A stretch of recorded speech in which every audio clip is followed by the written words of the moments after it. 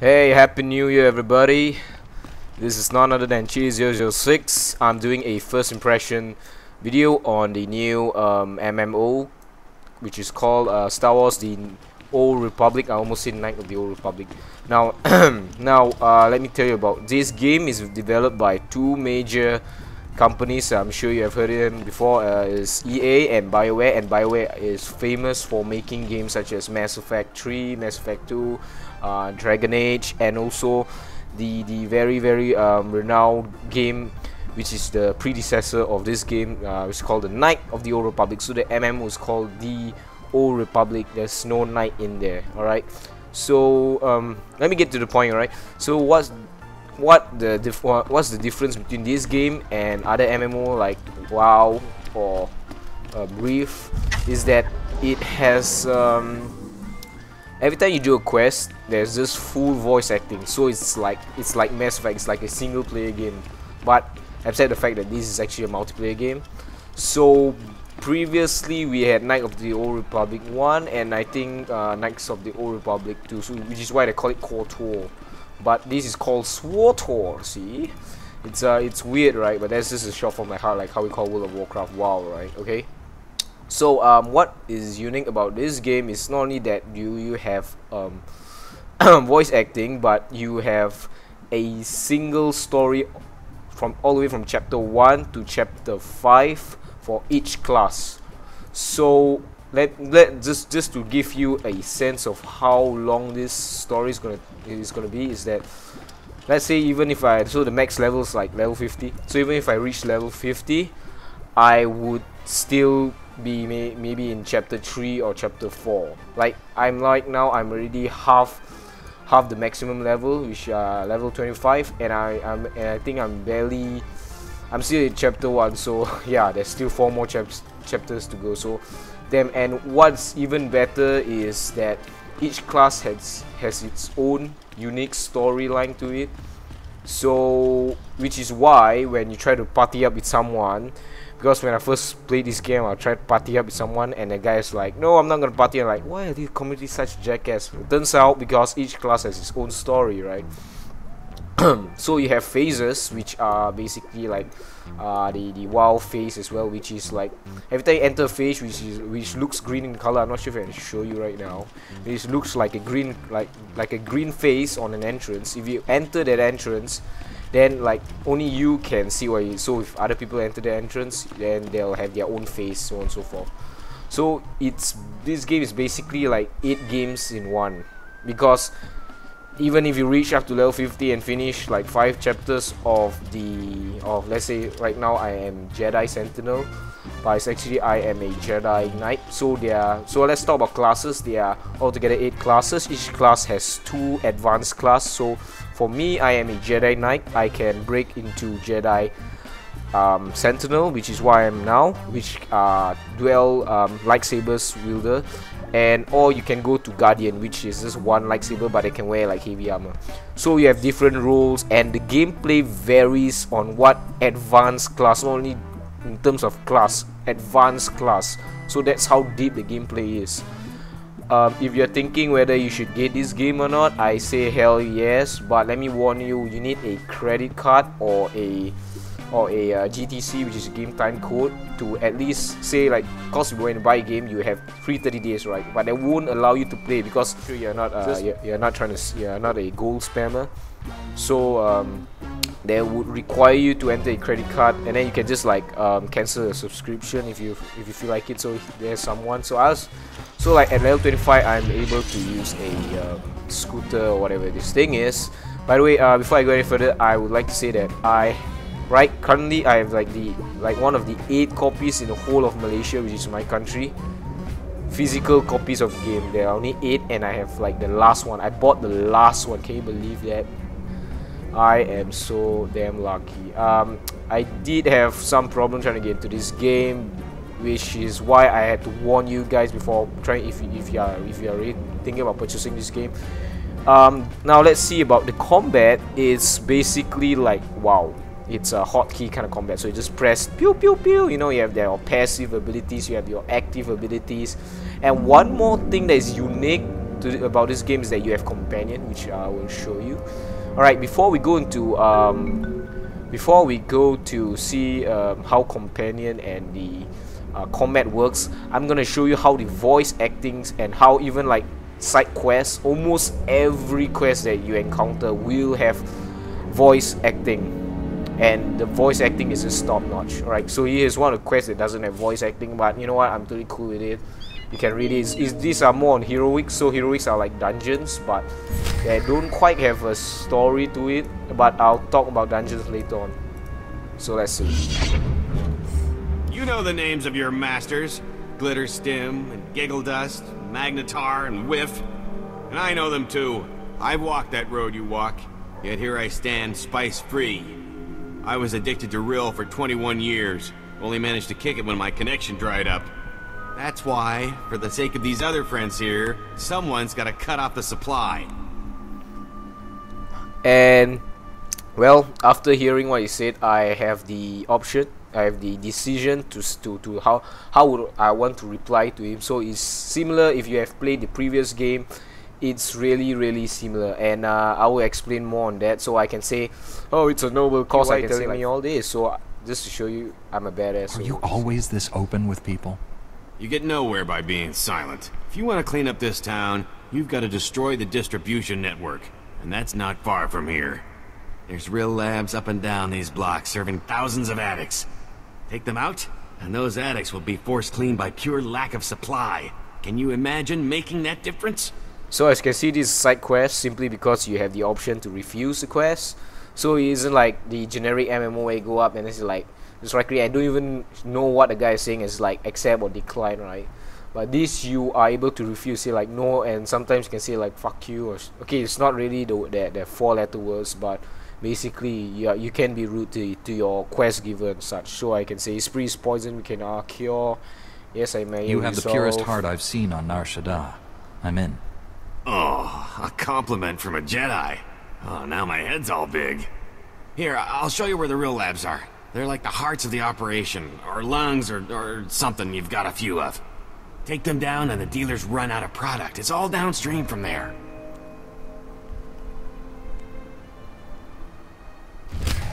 Okay, so that's definitely a side quest. Let me get on my scooter here. This scooter cost me about 40,000 credits.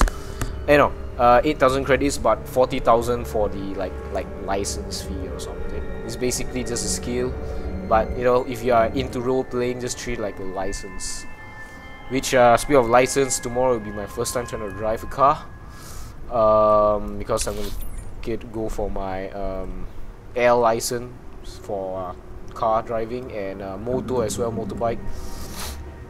So I'm gonna show you how the combat is like. Alright, uh, before I go to combat, let me show you about companions first. Alright, so in the game every time you do like you do your main quest shit like that you'll get a companion so one of the first companion you'll get is the T7 if you are a Jedi Knight alright so as you go along um, you get companions and you also have your own ship as well which uh, comes with this C2N2 which you know turns out to um, heal you because certain like companions are not just a dumb bot following you it, they actually do some they actually have a role in terms of gameplay. So like T7 he's a DPSer uh, he does a lot of damage but he doesn't take uh, a lot of damage because he'll die. Uh, Kira who is a Jedi he is, uh, she is also the same. She's a DPSer but C2 over here which I just found out who's, who's, who's actually a healer is uh, more useful because I myself Jedi Consular I'm a healer right? Hey, I'm a DPSer so I do I just I shoot tons of damage um, and shit like that. So you have uh, three skills. You have three uh, what these these are called crew skills right? So you have one crafting you have one gathering skill and this is a new kind of skill which you have not seen in other MMOs it's called uh, it's called a missioning skill right? So let's say I click here.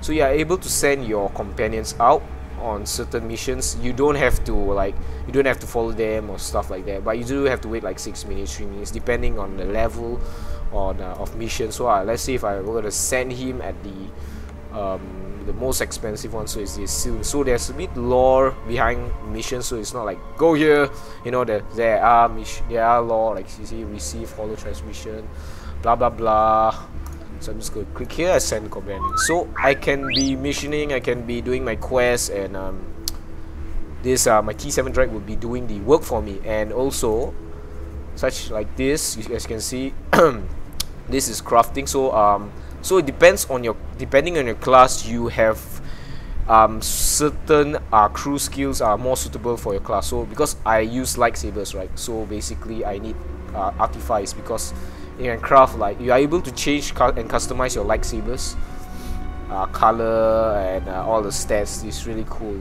um, I won't go too deep into that because I try I'm trying to keep this video short uh, so as you can see you can um, I'll show you, you can Oh, there's my friends list. No, there's my ability. You can reverse engineer. So every time you create a lot of stuff, you reverse engineer that particular item you get. Like um, you uh, you'll be better and you learn more skills. Your skills in crafting will uh, increase.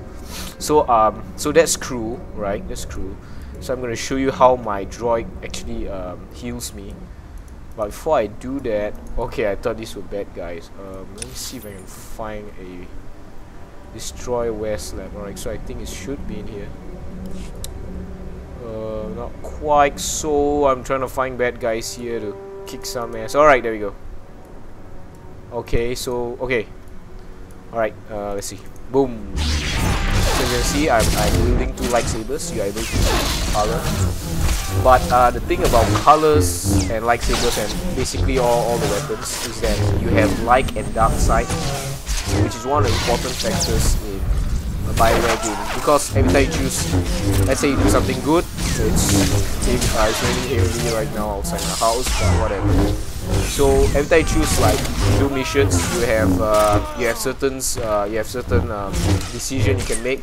So you can say like I want to kill this this all these villagers, or you can say you know what I'm gonna I'm gonna ring the beacon and so that they may be safe. So as you can see, I'm being killed here.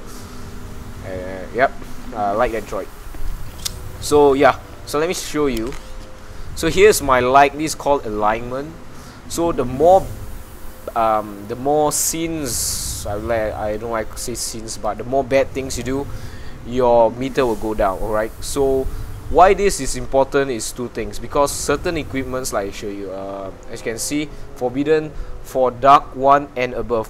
Which means if you actually you do a lot of bad stuff and like you can see right now my alignment is light 2 so if um, my alignment goes to dark 1 or higher then I can't use this uh, virtuous strategies lightsaber so there are tons of lightsaber um, you can see the detail of the lightsaber really well on the clothing. I am I mean uh, cosmetically you can see uh, so the, the the thing is that lightsabers you can't really change them to make it look like or like oh level 50 lightsabers would have like like I don't know like because this is the Star Wars universe and even if you look Obi-Wan he's still using that lousy old uh, blue lightsaber. So what what you can change is let me show you here.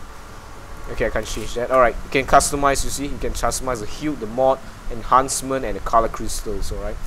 So color crystals are somewhat important cosmetically because if you there are basically two factions I'm in the Republic and there's the Empire. So if you enter the Empire you are able to use red lightsabers and purple lightsabers.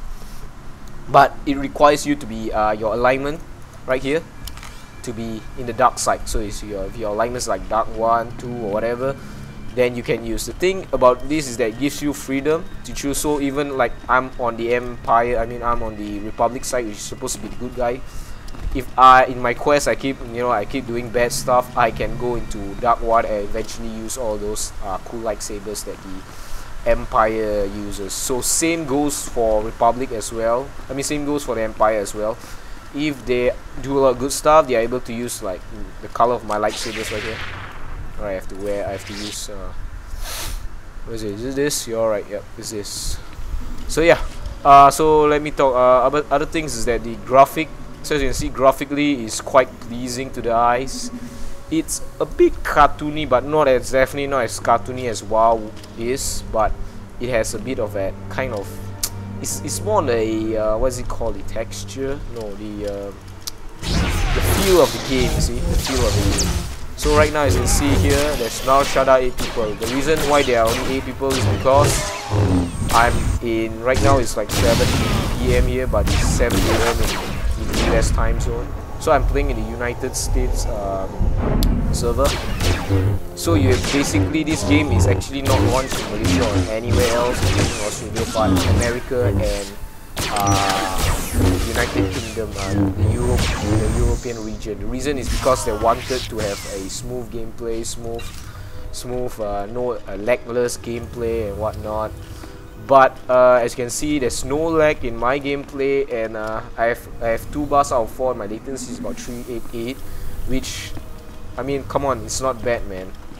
And uh, so yeah I think uh, I think I covered most of it. Alright uh, I forgot to talk about flashpoint. I'm gonna get uh, so flashpoints are like basically dungeons.